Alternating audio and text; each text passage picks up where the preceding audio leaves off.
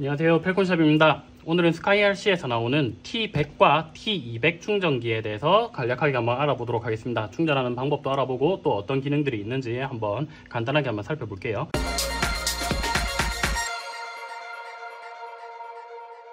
T100과 T200은 둘 다 쌍둥이 충전기라서 어, 둘 다 기능적으로는 거의 똑같다고 볼 수가 있는데 제일 큰 차이점은 T100은 조금 더 일단 사이즈가 작고요. 어, 최대 4셀까지의 리튬 폴리머 배터리를 충전을 할 수가 있고 그리고 최대 출력이 100W입니다. 100W 각각 100W가 아니고 포트별로 50W 50W 이렇게 합해서 100W 출력이 나오는 충전기입니다. 그리고 T200 같은 경우는 최대 6셀까지의 배터리를 그러니까 22.2V까지의 배터리를 충전을 할 수가 있고 어, 100W 100W 양쪽으로 각각 그렇게 해서 총 200W의 출력을 가지고 있는 그런 충전기가 되겠습니다. 둘 다 한번 외관을 보겠습니다 일단 T100부터 한번 까볼게요. T100을 까보시면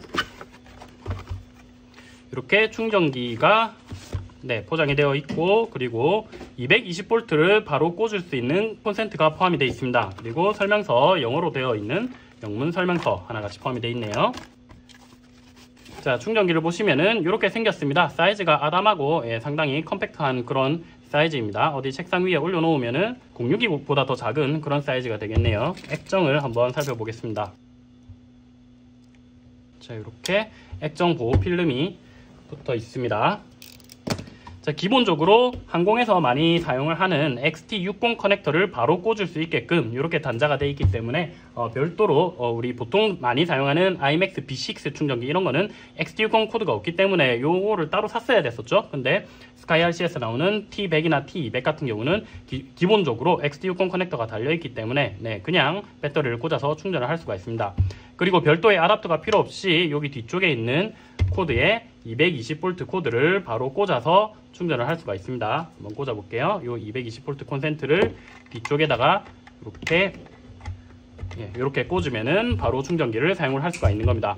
220V 콘센트 같은 경우는 유럽과 국내에서 동시에 사용하게끔 콘센트가 제작이 되어 있기 때문에 이 콘센트의 돼지코 부분이 조금 작습니다. 조금 작아서 이게 국내 콘센트에 꽂아보면 약간 헐렁해서 접촉이 잘 안 되는 경우가 있어요. 그래서 국내 콘센트 실정에 맞게끔 조금 사용하기 편하게 약간 안쪽으로 오므러뜨려져 있습니다. 약간 이렇게 구부러져 있어요. 그래서 넣으면서 약간 좀 빡빡하게 들어가게끔 그렇게 설정이 되어 있습니다. 원래 이렇게 약간 구부러져 있는 거니까 구부러져 있다고 펴시면 안 됩니다. 자 콘센트를 꽂으면 이렇게 SkyRC T100이라고 화면이 나오고 다른 충전기에서도 봤었던 조금 익숙한 그런 화면이 나옵니다. 자 왼쪽 오른쪽 양쪽 포트에 배터리를 꽂을 수가 있는데 한번 꽂아 가지고 해보겠습니다. 자 오른쪽 포트에 한번 꽂아 볼게요. 오른쪽 포트에 오른쪽에 여기 밸런스 단자 쪽에 밸런스를 꼽습니다. 자 꽂으실 때는 어, 요 단자는 최대 4셀 배터리까지 연결할 수 있기, 때문에 요 핀이 총 5핀입니다. 근데 만약에 내가 사용하는 배터리가 3셀 배터리다. 그러면 요 핀이 4핀이거든요. 그래서 핀이 하나가 남아요. 그래서 제일 밑에 쪽으로 붙여서 까만색 선이 제일 밑으로 가게끔 붙여서 그렇게 꽂아주시면 됩니다. 이렇게 예, 다르게는 꼽히진 않습니다. 이렇게 꽂아주시고 그리고 밑에 XT60 잭을 이렇게 꽂아주시면 되겠습니다. 만약에 자기가 사용하는 배터리가 XT60 잭이 아니고 다른 잭이라면 변한 잭을 따로 구매를 하셔야 되겠죠. 일단 저는 XT60이라서 바로 꽂아봤습니다. 자 그리고 이제 여기에서 A쪽에 지금 불이 들어와 있는데 A쪽은 이쪽 편이죠. 이쪽 편 말고 우리는 지금 B쪽으로 할 거니까 중간 이 버튼을 눌러서 B쪽으로 들어갑니다.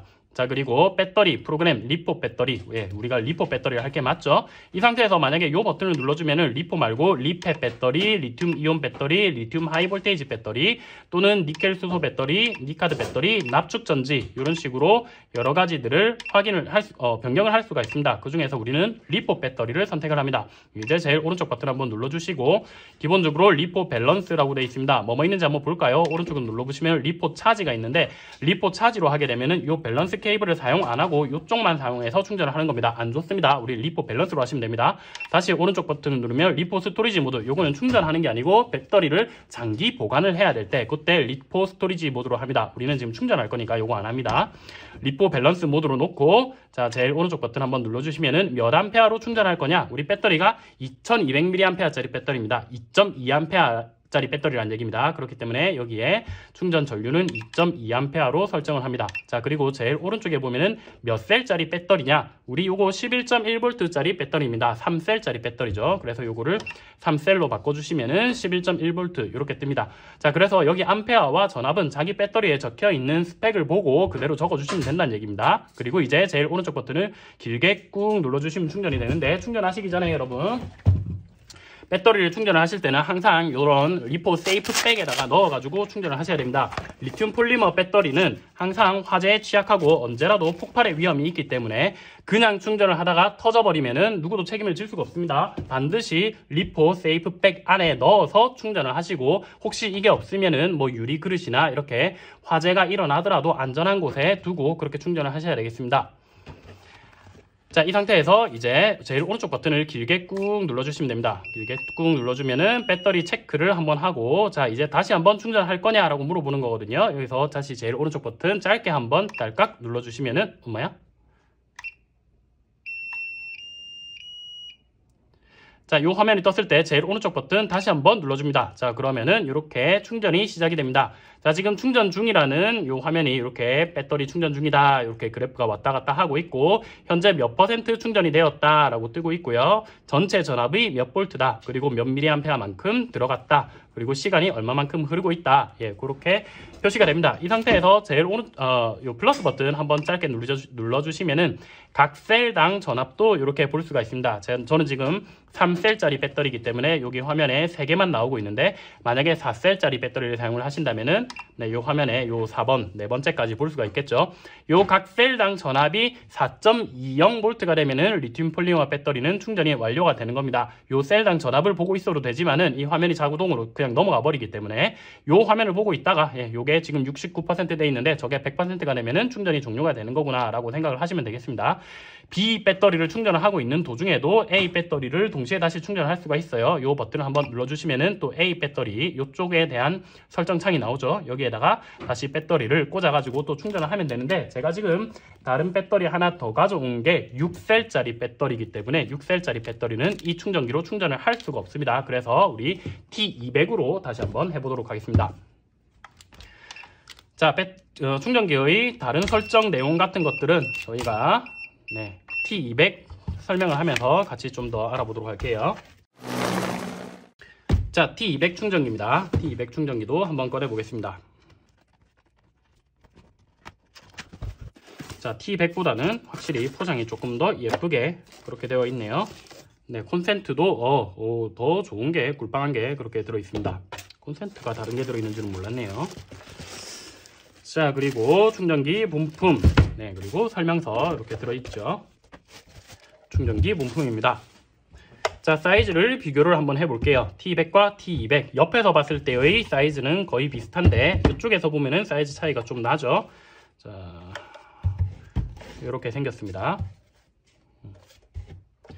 뒷모습도 보면은, 네, T100에 비해서 T200은 뒤쪽에 커다란 cooling fan이 있는 게 보이고요. 그리고 T100 같은 경우는 220V 그러니까 AC 전원만 연결을 할 수 있었던 반면에 T200은 뒤쪽에 DC 입력 단자도 있습니다. 그래서 만약에 야외에 나가서 충전을 해야 되는 경우가 있을 때는 XD60 잭을 이용해서 DC 11에서 18V의 전원을 넣어주면은 야외에서도 충전을 할 수가 있는 그런 충전기가 되겠습니다. T100은 야외에서 사용을 할 수가 없죠. 자, 이것도 액정 보호 필름이 있기 때문에 일단 한번 제거를 해 볼게요.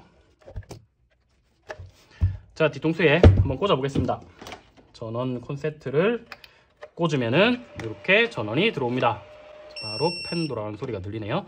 자 똑같습니다. A, B 이렇게 두 개의 포트가 있고 이렇게 이렇게 눌러서 A로 충전할 거냐 B로 충전할 거냐 그런 것들을 할 수가 있는데 어, 여기에 밸런스 단자가 조금 더 넓죠? 6셀까지 충전할 수 있기 때문에 예, 이게 조금 더 핀 수가 많습니다. 총 7핀이 되겠습니다. 자, 요 선은 연장을 하려면은 범용으로 사용하는 XH 커넥터용 네, 요 밸런스 보드가 있습니다. 요거를 따로 구매를 하셔가지고 이런 식으로 꽂아서 예, 이렇게 연장해서 이렇게 쓸 수도 있습니다. 두 개를 이렇게 이렇게 해가지고 이렇게 쓸 수도 있죠. 연장을 해서 쓸 수 있고 기본적으로도 요거 없이 그냥 사용은 할수 있게 그렇게 되어 있습니다. 자 충전하는 방법은 똑같은데 한번 양쪽에 둘 다 충전을 걸어 볼게요. 지금 왼쪽에 어, 6셀 밸런스 단자를 꽂고 그리고 XT60 커넥터를 연결을 합니다. 네, 이렇게 연결을 하고 자 LiPo 배터리 모드 들어가고 LiPo 밸런스 이 배터리가 어, 1300mAh짜리 배터리니까 여기에서 1.3A로 설정을 하고 셀 전압은 6셀, 네, 6셀 이렇게 설정을 합니다. 그래서 꾹 눌러서 배터리 체크 뜨면은 네, 눌러서 이제 충전이 시작이 된 거고요. 자, 충전이 시작이 돼서 충전이 얼마나 들어가고 있는지 예, 그런 것도 화면이 나옵니다. T100이랑 다르게 이 충전 퍼센트가 표시가 되진 않네요.